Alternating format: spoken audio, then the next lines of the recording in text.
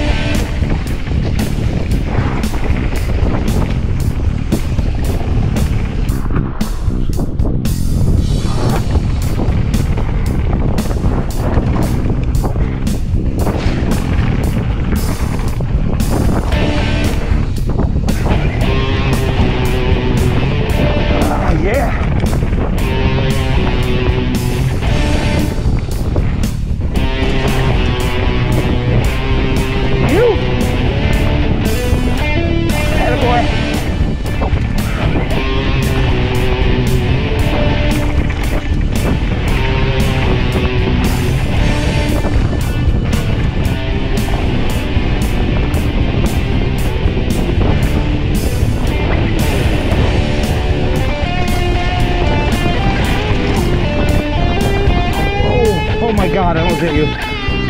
So close.